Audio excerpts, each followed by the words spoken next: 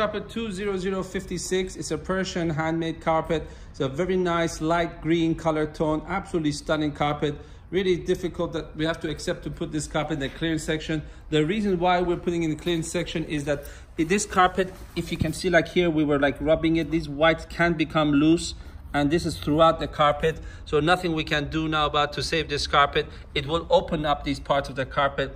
So this is a really a utility carpet somebody who wants to show their carpet. But if you're going to use this carpet it doesn't have the strength definitely doesn't have the strength to be scratched. Not all over the carpet is like this but some parts are like you can see here. Our team cannot really fix this all the time. So you'll be in a position that you just have to keep cutting them with the scissor that won't damage the carpet too much. But again this is why we put a very very big discount on this carpet. Please only proceed to purchase this carpet if you understand and appreciate this. Some minor parts of the carpet have a lighter green as well in it.